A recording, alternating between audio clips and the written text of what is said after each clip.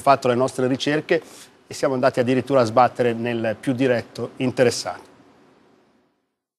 Bufala o Scoop? Veramente la cognata e l'autista di Grillo amministrano una decina di società in Costa Rica, paradiso fiscale che garantisce l'anonimato ai soci investitori? Per l'Espresso è tutto vero. Walter Vezzoli, l'autista factotum di Grillo, sentito dal Fatto Quotidiano, nega invece gli investimenti poco chiari e parla piuttosto di un sogno irrealizzato. Esattamente le parole che ripete alla nostra Silvia Brasca che lo ha incidentalmente intercettato a Londra. Feudo rimane un sogno nel cassetto. Che tipo di sogno è? Quello che potrebbe cambiare il mondo. E, e, e perché cambierebbe il mondo? Per, uh, perché? Devi andare a vedere il sito Lei ha detto che quello che ha scritto l'Espresso sono tutte menzogne. Eh? Certo fa. Non, so, non c'è niente di vero. Vezzoli accetta di rispondere dopo una breve trattativa. Si trova a Londra per organizzare un concerto, spiega. Dopo il breve colloquio, ripreso con un telefonino, entra nella hall del centralissimo Baglioni Hotel dove si trova insieme ad altre persone.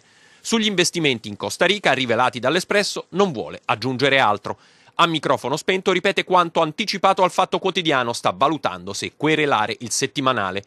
Al fatto ha raccontato altro sul periodo passato in Costa Rica insieme a Naderek Tajik, cognata di Grillo, dalla quale ha avuto un figlio cresciuto in quel paese. Quanto al villaggio ecocompatibile è descritto nei dettagli sul sito ecofeudo.com con depuratori per il riciclo dell'acqua piovana, pannelli solari, pale eoliche, impianti biogas e anche un bunker antiatomico per ogni abitazione posta in collina. 155 metri sul livello del mare per far fronte al global warming, l'aumento del livello delle acque che verrà provocato, dice, dal surriscaldamento del pianeta.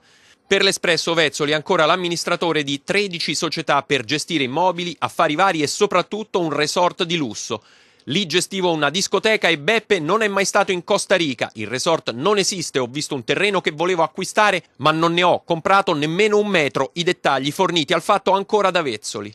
Nella polemica interviene Grillo stesso che sfida l'Espresso dal suo blog con una copertina che replica quella del settimanale, l'autista, la cognata e l'ingegnere.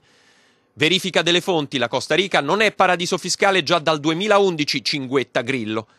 Sì, ma fino al 2009, quando vennero create le 13 società di Vezzoli, il Costa Rica era nella lista nera dell'Ocse come paradiso fiscale e oggi l'Agenzia delle Entrate considera il Costa Rica un paese a fiscalità privilegiata la replica dell'Espresso.